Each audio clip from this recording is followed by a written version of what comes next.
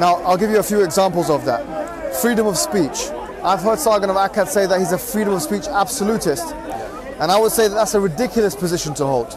It simply is a ridiculous position to hold. The reason why is because if you say it's a, if you're an absolutist, the word absolute indicates that you actually would you would endorse something like, for example, someone revealing the secrets, and these are the classical um, examples of a poison gas, a new poison gas, putting it on the internet.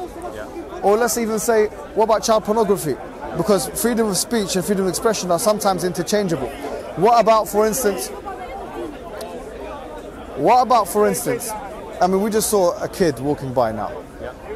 What if someone in a, in a school context was racist to a child and was bullying a child using freedom of speech as a guise? Most people in society will say that's not acceptable. This is one of the problems is that you know you've given individuals like that. So Jordan Peterson, I wouldn't say I wouldn't involve him in, in this side of things, but you've got people with you know, people that you can label as right wing, whether or not you call it far right or, you know, however that's your choice.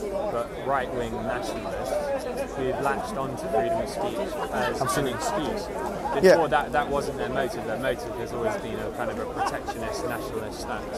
Yeah. And they're using freedom of speech because it's it's a hot topic and you can almost use that to legitimise.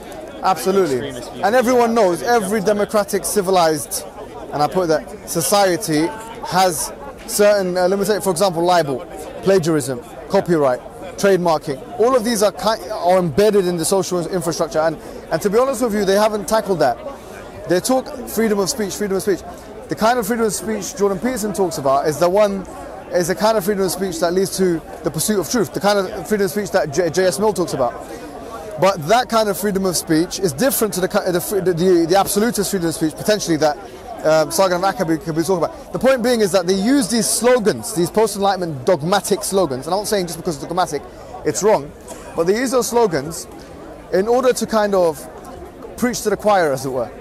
In my opinion, the Western choir that have already uh, accepted the democratic principle that there are no disadvantages, or, or, or that democracy, democracy or liberalism is an ultimate truth of some sort, or you, you know the ideal philosophy that we should be living by and they're preaching to that particular choir. Oh yeah, yeah, of course. So that's that's what I think. The point being is, what what needs to be challenged is the presuppositions. Yeah. Now, when we have a discussion, and it has to be frank, we have to look at, for example, those guys. i have mentioned those two because they're quite popular, yeah. but also because they're quite critical of Islam. Yeah. I started off by saying that their criticism of Islam is valid, but on what or on what premise? On the premise that they accept philosophical liberalism as the truth. For example,